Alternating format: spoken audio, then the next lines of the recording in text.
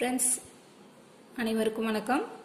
இன்னைக்கு நம்மளோட மங்களம்ஸ் கிச்சனில் ரொம்பவே சுவையான ஒரு evening time snacks Mysore bonda எப்படி பண்ணுறதுன்னு பார்க்க போகிறோம் இது ரொம்ப டேஸ்ட்டாக இருக்கும். அதுக்கப்புறம் பார்த்தீங்கன்னா ரொம்ப சீக்கிரமே செஞ்சிடலாம். ஸோ இன்ஸ்டன்ட் போண்டான்னு கூட சொல்லலாம். ஸோ வாங்க நம்ம கிச்சனுக்குள்ளே போகலாம் எப்படி ஒரு போண்டா செய்ய போகிறோம்னு பார்க்கலாம்.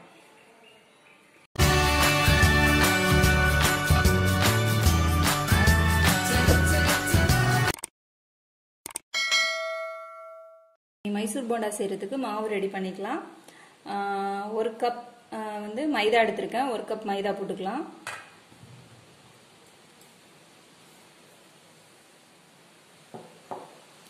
அதே கப்பால் கால் கப் அரிசி மாவு போட்டிருக்கேன். ஸோ அரிசி மாவு அது கூட சேர்த்துக்குங்க.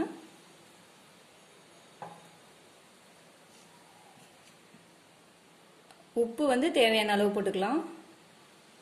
அதுக்கப்புறம் குக்கிங் சோடா ஒரு கால் டீஸ்பூன் போட்டிருக்கேன்.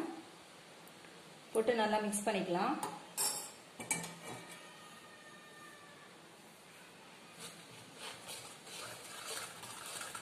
உங்களுக்கு ரெண்டு கப் வேணாலும் ரெண்டு கப் போட்டுக்கலாம்.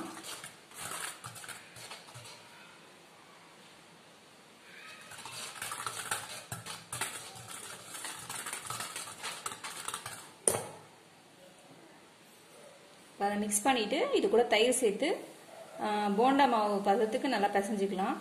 இது தயிர் பார்த்தீங்கன்னா ரொம்ப புளிக்காத தயிராக எடுத்துக்கோங்க. அதுக்கப்புறம் கொஞ்சம் தயிரில் தண்ணி ஊற்றி நல்லா கொஞ்சம் கரைச்சி வச்சுருக்கேன். தயிரை வந்து மோராக்கிக்கோங்க அவ்வளோதான்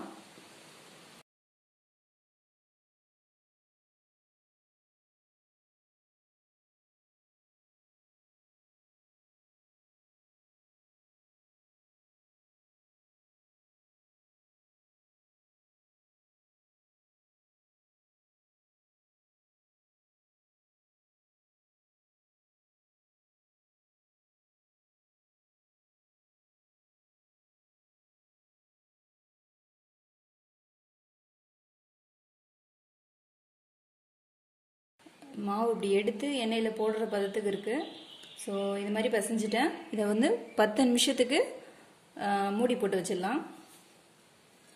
ஒரு பத்து நிமிஷம் கழிச்சு எடுத்துடலாம். பத்து நிமிஷம் ஆயிடுச்சு.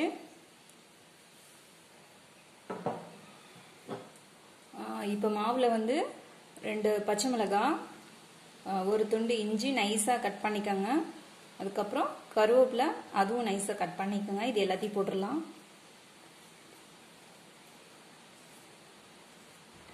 இது கூட தேங்காய் சின்ன சின்னதாக வெட்டி தேங்காய் கூட போட்டுக்கலாம்.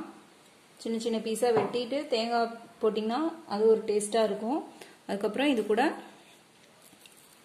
ஜீரகம் ஒரு ஸ்பூன் போட்டுக்கிறேன். இதை நல்லா மிக்ஸ் பண்ணிக்கலாம்.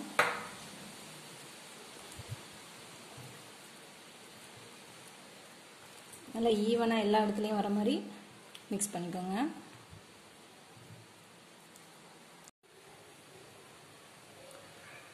இப்போ நம்ம போண்டா போட்டு எடுக்கலாம். இப்போ ஒரு பேனை ஹீட் பண்ணிட்டேன். ஆயிலும் ஹீட் ஆயிடுச்சு. இப்போ நம்ம போண்டா வந்து இப்படி போடணுன்னா தண்ணியில் தொட்டு தொட்டு வடை போடுற மாதிரி தான் இதை உருண்டையாக உருட்ட முடியாது. அப்படியே நீங்கள் ஆயில் ஹீட் ஆனோன்னே எடுத்து இது மாதிரி அப்படியே போட்டுருங்க. தண்ணியில் தொட்டு தொட்டு நினச்சிக்கலாம். நினச்சிட்டு அப்படியே எடுத்து போட்டுருங்க.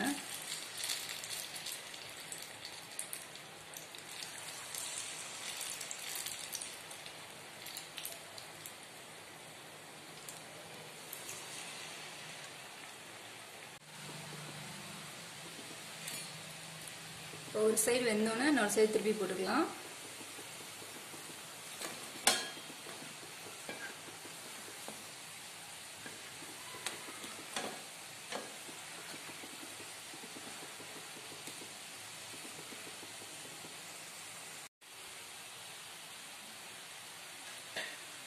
சப்போட்டா பாருங்கள் நல்லா வெந்து வந்துருச்சு. இப்போ நம்ம எடுத்துடலாம்.